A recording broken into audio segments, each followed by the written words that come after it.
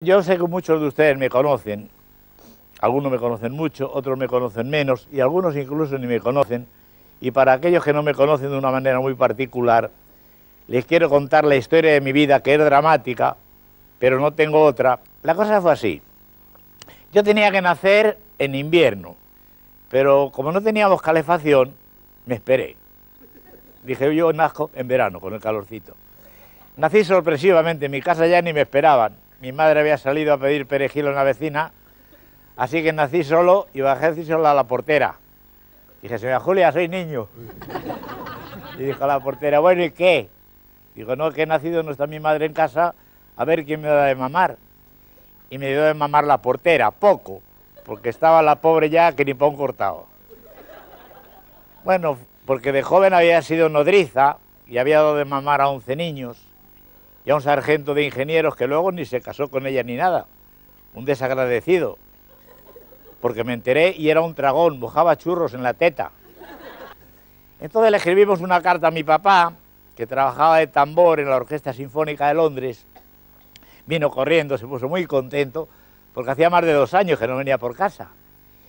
Y dijo, ahora sí que hay que trabajar, porque ya éramos muchos, éramos mi papá, mi mamá, nueve hermanos y un señor de marrón que estaba en el pasillo sentado, que no, le conocía a nadie. Entonces le vendimos el tambor a unos vecinos que eran pobres y no tenían radio, ni tocadiscos, ni nada. Y con el dinero que nos dieron por el tambor, en lugar de gastarnos en champán y en marihuana y eso, lo echamos a una rifa y nos tocó una vaca. Bueno, llevamos la vaca a casa, la pusimos de nombre Matilde, en memoria de una tía mía que se había muerto una tontería. Mi tía se murió porque tenía un padrastro, empezó a tirar y se peló toda. Pusimos la vaca en el balcón para que tuviera la leche fresca y se conoce que tenía un cuerno flojo. Se le cayó a la calle y se le clavó un señor de luto. La cuestión que el del cuernazo se murió, a mi papá le metieron preso por cuernicidio y se escapó un domingo por la tarde, que no había taxis y estaba lloviendo y dijo, estoy libre. Se le subieron ocho encima. Ahí murió en el tumulto. Entonces, como éramos muy pobres, mi madre hizo lo que se hacía en aquella época con los niños. Nos fue abandonando por los portales. A mí me dejó en el portal unos marqueses riquísimos. Tenían corbatas, tenían sopa, se hacían las radiografías al óleo. Tenían radiografías de Picasso, de Miró, bueno, entonces eh, querían que estudiara el bachillerato para saber dónde están los ríos y las montañas y todo eso. A mí no me gustaba estudiar, así que me escapé y me metí de ladrón en una banda, pero lo tuve que dejar porque me puse enfermo del estómago y todo lo que robaba lo devolvía. Entonces me fui a Londres y me coloqué de agente en Scotland Yard. Yo descubrí lo del asesino ese famoso que lo habrán oído nombrar, Jack el Destripador, que nunca lo he contado por modestia, pero se lo voy a contar hoy. La cosa fue así. Resulta que estábamos haciendo la ronda y apareció un hombre en la calle como dormido, ¿no? Pero como hacía más de un mes que estaba allí, dijo el sargento, no sé, mucho sueño por un adulto. Entonces llamamos al forense, que ni era médico ni nada, tenía un for y le llamábamos el forense. Vino corriendo se acercó al tumbado, le pegó seis patadas en los riñones y dijo, una de dos, o está muerto lo que aguanta lo este a este. Y estaba muerto. Y vino Sherlock Holmes con la lupa y dijo, ha sido Jack el destripador. Y dijo, ¿por qué lo sabe? Dijo, porque soy Sherlock Holmes y aquella todo el mundo. Bueno. Me enteré dónde se hospedaba Jack el destripador, me fui al mismo hotel y como a mí no me gusta la violencia, le detuve con indirectas. Nos cruzábamos en el pasillo y decía yo, ¿alguien ha matado a alguien? Al día siguiente nos volvíamos a cruzar y decía yo, ¿alguien es un asesino? Y no me gusta señalar. Y a los 15 días dijo, no puedo más, he sido yo, lo confieso, y se entregó. Y, lo de Londres lo dejé porque había mucha niebla en aquella época y había que hacer la ronda palpando. Y te metías unos hostiazos con las esquinas y dije, me voy a matar, así que lo dejé y ya me dediqué a esto. Bueno, y ahora, después de contarles la historia de mi vida, les quiero hablar de otra cosa que es lo importante, lo importante que es la, cultura. El, tener cultura, lo importante que es. Porque vamos a suponer, claro que hoy en día el que no tiene cultura es porque no quiere, porque con esos viajes que se hacen ahora que los puedes pagar en 24 meses, que se llaman tours, se escribe tour y se lee tour. E, e, e, eso es lo que me cabrea a mí de los franceses. Porque yo digo, si no leen las letras, ¿para qué mierda las escriben? Que estaba yo en París leyendo una plaza de Mozart y leo Plaza de Lafayette. Y pasó un francés, un enano con una gorra, con un pompón encima. Dice Lafayette. Dije, la falló tu padre cuando te hizo. Luego me explicaron que las últimas letras no hay que leerlas. O sea que yo les recomiendo que, si van a París lean las calles con un ojo tapado. Hasta ahí. Ahora, el verano pasado hice un tour por Europa. Recorrimos en 11 días 19 países. Deprisa, ¿eh? Vamos, vamos, vamos, vamos, vamos. Ay, que me hago pipí. En Holanda, señora. Se bajó las bragas en Bélgica. Y llegó justito, ¿eh? Justito. Porque el guía lleva calculada la elasticidad de la goma, la longitud de la pierna, todo calculado. Ahora, qué bonito. Nos llevaron de entrada, digamos, como para ir haciendo boca, a la torre inclinada de Londres. De ahí al Museo de la Ubre, que yo la Ubre ni la vi, porque a esa velocidad que vas a ver. Venía un señor muy culto que quería visitar los inválidos y le dijeron, mire ese manquito y rápido, ¿eh? Luego nos llevaron al monumento al soldado descolorido, a, a una plaza que los franceses se tomaron la pastilla, a la tumba de Napoleón, que nos dijo el guía, ahí están las cenizas de Napoleón cómo fumaba. Un cajón de ceniza. Y luego fuimos a, Italia, al Vaticano. Vaya negocio que se han montado. Y empezaron con un pesebre. ¡Ah! Y luego fuimos a Grecia. Grecia, bueno, ¿qué quieren que le diga? Pues es un país que bueno, que está, que no vas a decir, no vas a ser tan ignorante decir, oye, oye, no está Grecia, está, está, pero ¿cómo está? todo roto, todo tirado por el suelo, viejo, del año del pedo todo.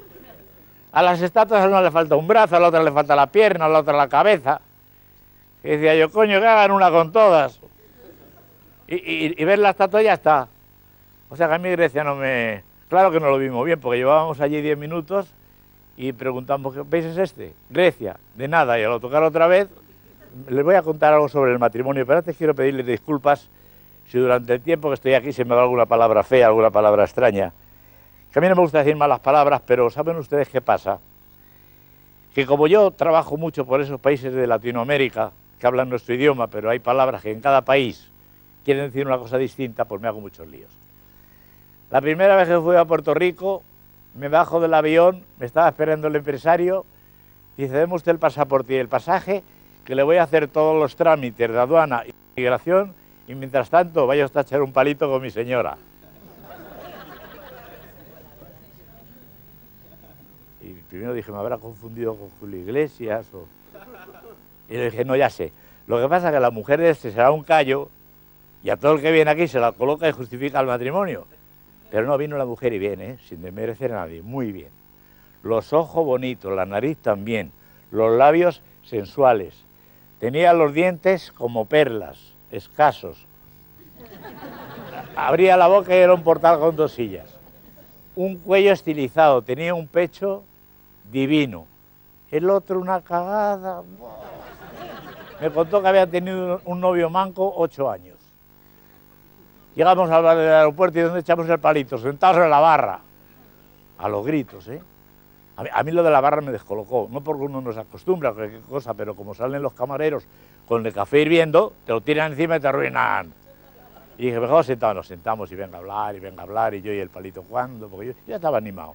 Y total, en Puerto Rico echar un palito es tomar el aperitivo. Fíjate, fíjate cosas tan tontas.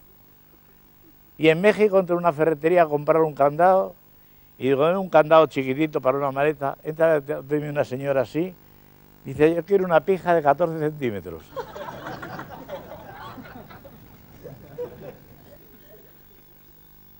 Vino el de la ferretería y le dije, despache primero a la señora, yo papá.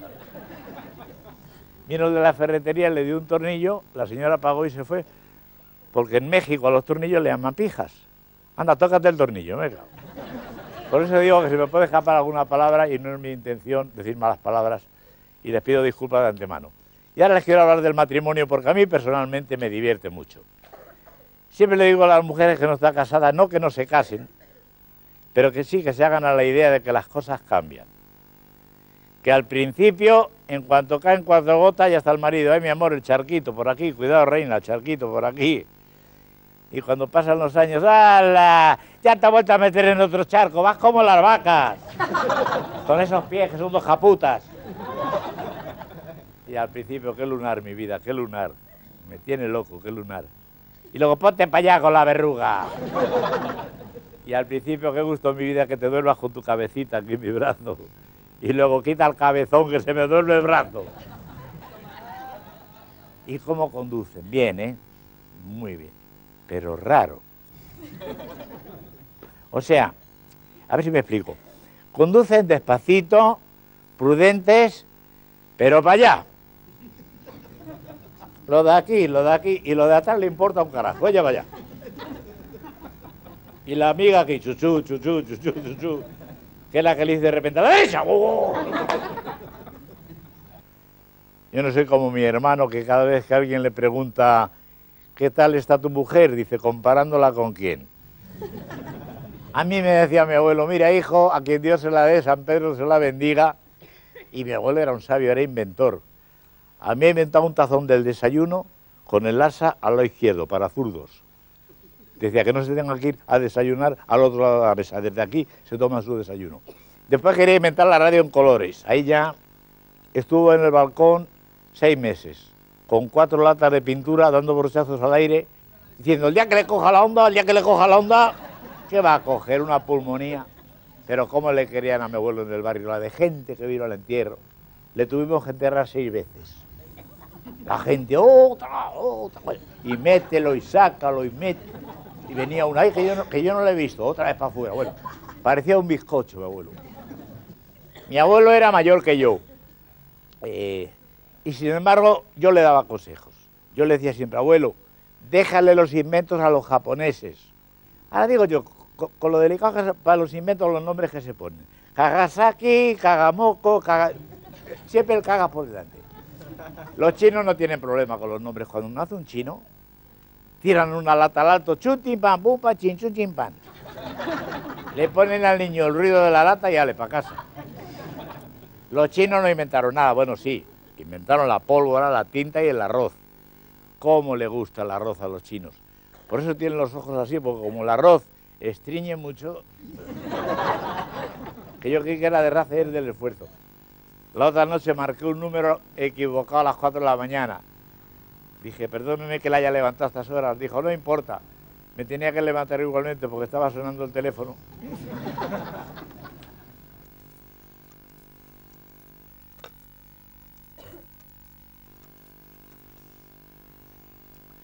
Oye, está la señora, la mía.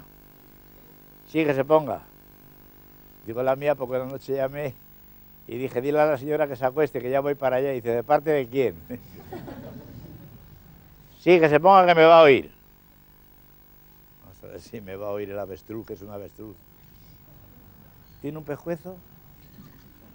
Es como que se está asomando siempre. Cuando estamos en la playa, la gente me pregunta, ¿su señora hace pie? Digo, hace pejuezo. Y la madre, vaya regalo una foca con un bigote. Y tengo un poco de pelusa. Y te da un beso y te cepilla el traje. Y la han operado de la cirugía estética, le han hecho una chapuza. Y dice, pues me han dejado que me puedo colocar de azafata. Y digo yo, sí, en el arca de Noé. De azafata, con esa cara. Una noche se perdió Fuimos a la comisaría con una foto, la miró el comisario y dijo, ¿de verdad la quieren encontrar? Pero me va a oír, porque cuando yo saco el carácter, ahí, ahí te quiero ver. Ya está aquí, vas a ver tú. Sí, sí, sí, sí. Que yo lo digo, sí, sí, sí. Está bien, adiós.